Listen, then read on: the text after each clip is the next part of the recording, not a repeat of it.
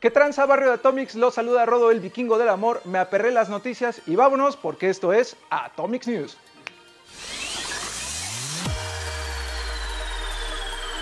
Y la gran N sigue dando de qué hablar porque tal vez, tal vez, hay un N64 mini en camino. Si querían pruebas para sospechar de que Nintendo podría lanzar en el futuro un mini N64, entonces aquí las tienen. Recientemente la Gran N realizó cuatro nuevos registros, que se relacionan con su icónica consola de 64 bits. Los registros en cuestión fueron realizados en Europa el pasado 18 de julio, todos ellos por algunos de los controles de las consolas de Nintendo, el del NES, el del SNES, Switch y, aún más llamativo, el del N64. Lo más curioso de todo este asunto es que todas las altas fueron realizadas dentro de la categoría de bienes y servicios, mismas que se relacionan con productos físicos. Junto a estos también se incluyeron las imágenes de los mandos, siendo que las del NES y SNES coinciden con los logos que hemos visto en las cajas de sus versiones mini. ¿Será que también veremos un mini N64 dentro de los próximos meses? Descúbralo aquí en atomics.bg. Pues espero que este rumor sea verdad porque a mí me robaron el mío, un disque amigo me lo robó y tal vez a ustedes o a muchos les haya pasado igual. Y por fin, por fin, por fin llegan los Pokémon legendarios a Pokémon Go.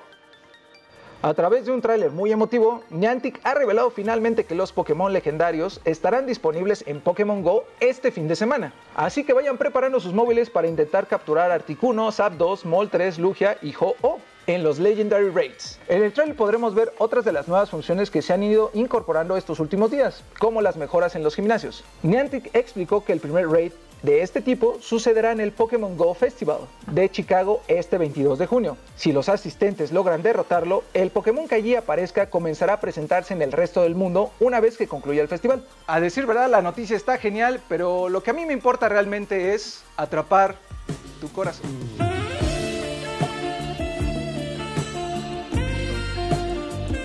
Lamento decepcionarlos, pero Nomura ha aclarado que Kingdom Hearts 3 no está en desarrollo para Switchy. Durante la celebración de D23, el director de Kingdom Hearts 3, Tetsuya Nomura, habló sobre la posibilidad de ver el juego en Nintendo Switch. Al respecto, y luego de ver la confusión que se generó, el creativo aclaró un par de cosas. En entrevista con la revista japonesa Famitsu, Nomura comentó que la respuesta que brindó hace unos días fue tomada de manera errónea. El desarrollador dijo que por el momento estaban enfocados por completo en concluir el desarrollo del juego, aunque no descartó la posibilidad de considerar llevar el título a otras plataformas una vez que terminaran con su trabajo. A su parecer, muchos medios tomaron la palabra considerar como una afirmación, lo cual es algo completamente falso.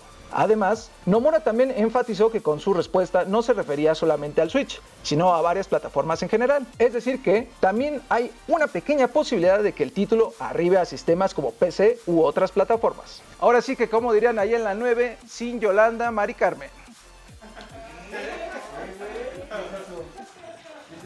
Sin llorar, Mari Y anímense porque Uncharted Lost Legacy ya está terminado.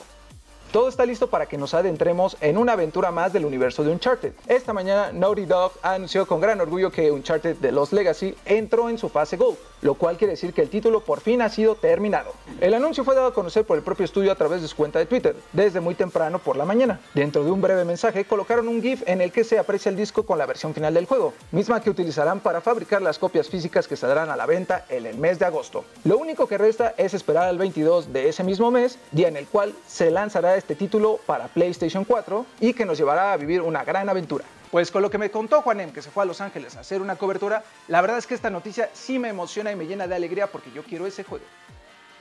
Y Patapón Remastered ya tiene fecha de salida.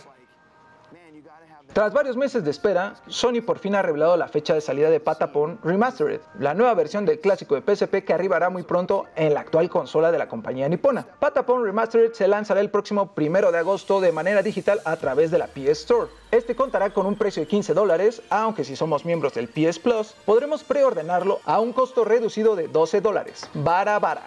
Una gran noticia para todos los fans de la serie franquicia del, juego. Pues bueno, estas fueron las noticias del día de hoy. Recuerden que ya está arriba la reseña de Peluches 2, que yo tampoco sé por qué le dicen peluches, pero estoy seguro que es una gran historia. No se olviden darle manita arriba a nuestro video, dejar su comentario, compartirlo, suscribirse al canal. Ay, Saben que me iba a despedir chido, pero ahí se ven.